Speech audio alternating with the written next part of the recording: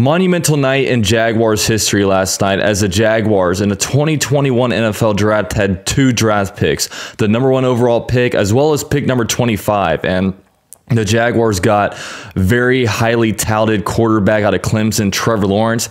And then with the 25th overall pick, we didn't go too far. We got somebody from the same backfield as Trevor Lawrence, and that is running back out of Clemson, Travis Etienne. And in this video, we're going to break it all down. Let's get it.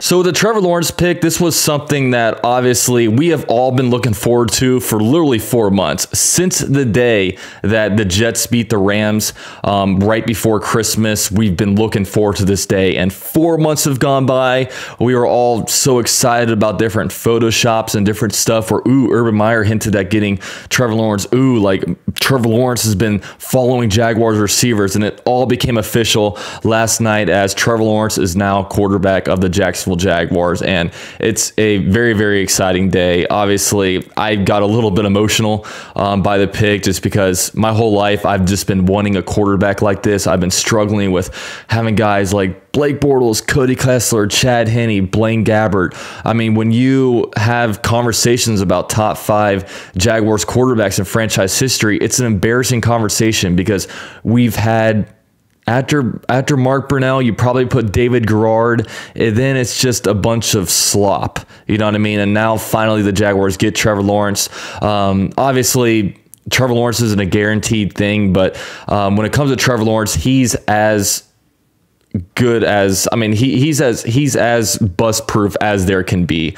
Um, so I'm not going to be Mr. Negative and say, oh, you never know how he's going to do, how he's going to translate. Look, I mean, I have a lot of belief in Trevor Lawrence. He's one of my favorite quarterback prospects, probably my favorite quarterback prospect to ever come out. I think one of the greatest quarterbacks of all time. I grew up watching Peyton Manning. He looks a lot like Peyton Manning to me, moving around the pocket, but Trevor Lawrence can actually run, which is just Peyton Manning basically with a set of legs. So it's very cool, and I'm so excited about this pick. But the next one, obviously, going into this night, we had no idea who we were going to pick at number 25. Uh, there were there were so many different positions of needs. We had gone safety, defensive tackle, uh, wide receiver, maybe even tight end, offensive line. But the Jaguars went with running back, running back Travis Etienne, and this was somebody that I wasn't over. I wasn't really mad about this pick. I was actually slightly excited because this is a guy that I had been mentioning every now and then that the Jaguars might take at pick number 25 or 33, um, kind of subtly, subtly, kind of hinting at it. But I didn't know how much of a realistic possibility it was. Um, just due to the fact that nobody else was really talking about it.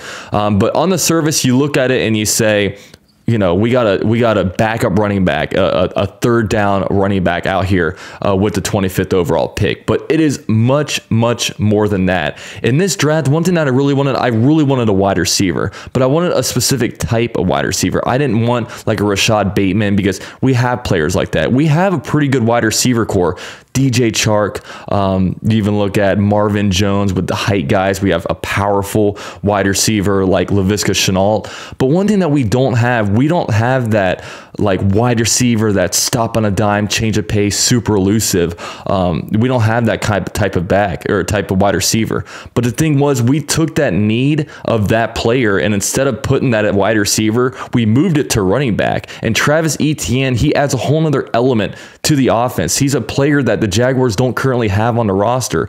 Uh, Urban Meyer basically said that when he looked at last year's film, there was not a lot of just big play explosiveness kind of players out like from the offense. And that's what he kind of wanted out of Etienne. He's a true home run hitter. And Etienne's a type of guy like, you know, on third down, he can be back there, you know, in the backfield out there in pass protection, or he can go out there and, you know, obviously run routes out of the backfield. And he can I even see him splitting out and going to the slot and playing some slot wide receiver. You know, last year James Robinson at running back was all the Jaguars had. He was all the Jaguars had. And but, you know, and then there were sometimes times where James Robinson would, you know, motion out, he'd go play a wide receiver, but he never really felt like a threat at wide receiver. You know, he was truly um, you know, a downfield runner, a powerful runner. He he was a very good running back and that's no knock on him, but it's kind of his strength strength. But Etienne comes in here, he provides a much different ability on the most important down in football, and that is third down. So I'm very excited about it. And now I'm at the point where, like, you know, wide receiver isn't as big of a need to me because we got a guy with Travis Etienne's skill set. Nowadays with offense, when I look at an offense, I want players on the field that all have vastly different strengths. So, you know, now on third downs, we're going to have DJ Chark, who's a, you know, speedy guy who can catch 50-50 balls, who can, you know, catch these, you know, back shoulder throws, um, can stretch the defense. You also have Laviska Shenault, who's just powerful, great after the catch. Um, and you, you have Etienne out of the backfield who can uh, make some things happen, whether it's on a handoff or whether um, they want to set up a screen or whatever for him. And then, you know, even later, we might even be able to get a tight end that brings a whole nother dynamic to the offense. So, um, Etienne, it, from, from the surface level, it looks like it's going to be a luxury because it's like, oh, you know, you look at a third down back, backup running back. We already have James Robinson. What's going on with that? But you have to look deeper at this. It's not just a guy that's, it's not just a Chris Thompson. You know, we're not getting a guy that's like, oh, you know, take James Robinson out. Uh, this guy can come in and kind of help pass protect. It's much more than that. You know, Etienne, um, if you look at him at Clemson, home run type ability. I mean, I've known about him for the last three years, and we all raise our eyebrows when it's like Etienne's coming back to college college. Um, but you know, he stayed committed. He wanted to help them win a championship, and um, I do like this pickup for the Jaguars. And the thing was.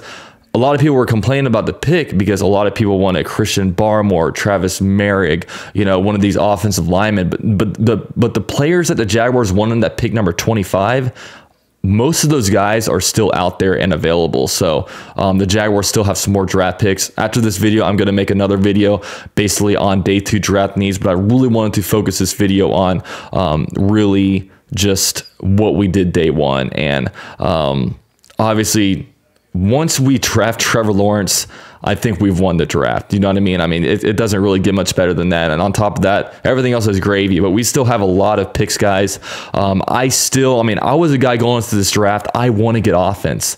You know what I mean? I, I, I want to get offense. And we definitely address one of those things here. So, let me know your thoughts. Am I crazy? Am I being too optimistic? I mean, like I said, I'm not just trying to defend uh, the Jaguars here because Etienne's a guy that I've you know, if you guys watch me, I've mentioned his name uh, more than a few times. I even put out a clip on Twitter and Instagram today about me mentioning him um, along with our different packages on offense. So I still expect the Jaguars to be picking up some offensive weapons because that's not something that we really did um, in this whole entire free agency class and really just even in last year's draft. So let me know your thoughts. I will be streaming again tonight, so it's going to be a lot of fun, and I will see you guys in my next video. Go Jags. You guys watched the whole video. Really appreciate that. You guys can subscribe to the channel for the best source of Jaguars news on the YouTube platform. Also follow me on Twitter and Instagram at UCF underscore Jaguar.